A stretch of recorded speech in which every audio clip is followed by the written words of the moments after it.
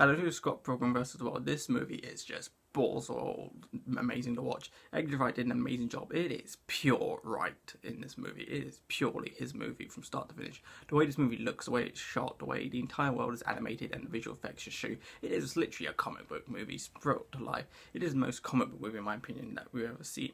The way all the visuals work, the way and it's just a fun interactive film and just really enjoyable to watch and it's just great comedy value.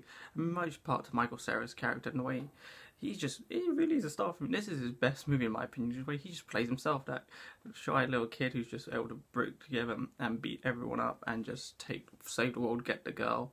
And it's great. Mary, there's a great cast: Mary Louise Anna Kendrick, Chris Evans, Brie Larson, Brandon Routh. They all have great small roles, but it works in the entire film. It's really fun to watch and it's just hilarious. There's girls and it's just fun and it's just a really good movie. I highly recommend you do watch it.